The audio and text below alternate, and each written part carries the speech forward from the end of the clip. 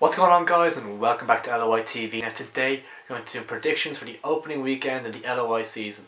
But before jumping into the video guys, I want to give a quick shout out to our sponsors OneFootball. OneFootball is the ultimate platform for everything football. It provides latest news, match updates, transfers and statistics from over 160 leagues worldwide. The app is free to download on iOS and Android so make sure to check out the link in our description below. First of all, we're going to start at Dalymount Park where Bohs are playing at home to Finn Harps. Bohs obviously coming into this one on the back of great form at the end of last season, but as for Finn Harps, who were great last season, promoted, um, it could be a good game. Uh, I could see it being a little bit of a tight one to be honest. Um, Finn Harps coming into it, I, I think there'll be a lot of confidence. They'll nothing to lose really.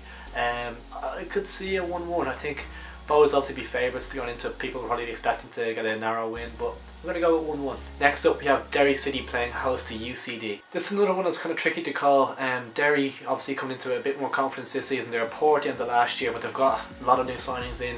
They'll be feeling good. A couple of players, Barry McNamee in particular, that could be crucial in this game. UCD on the other hand have lost a few good players. Um, obviously haven't brought anything in so I'm going to go with a narrow Derry City win. I'm going to go 2-1 to Derry. Next up you have the champions Dundalk playing at home to Sligo Rovers. I think this is a foregone conclusion. I think everyone knows that Dundalk probably should win this comfortably enough. Um, Sligo won't make it easy, but I do see Dundalk being comfortable winners in the end.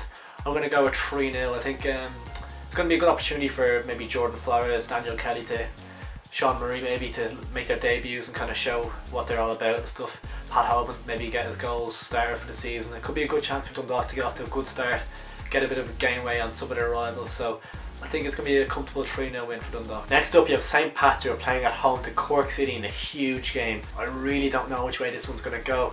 Could really swing either way. Um, maybe I'd say people could see a draw here, but personally, I think Cork on the back of last season really kind of poor towards the end. They weren't playing nice football. I remember I watched them at Bohs and they were really poor.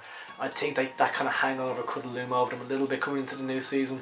A little bit of underwhelming transfer business done, so I think there could be a little bit of negativity slightly around the place. So I'm going to go with a home win. I'm going to go St. Pat's to give, I think it could give Cork a little boost, like a bit of a kick that they need for the rest of the season really. Um, I'm going to go with a Pat's 2 0 win. Get off to a great start. Harry Kenny obviously be ideal to get to off to a good start.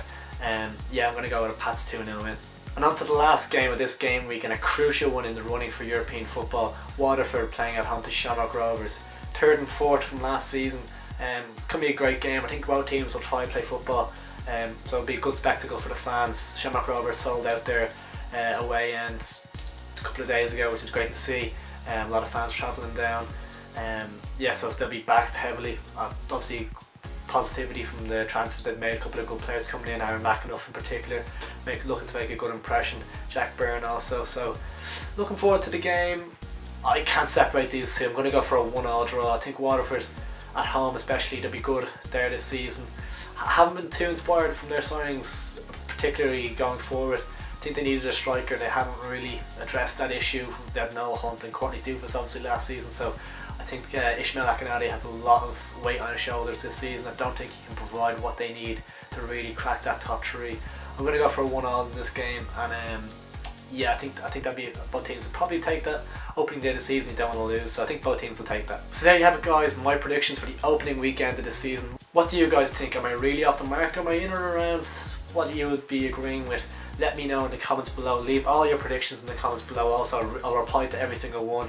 Make sure to like the video, share and subscribe.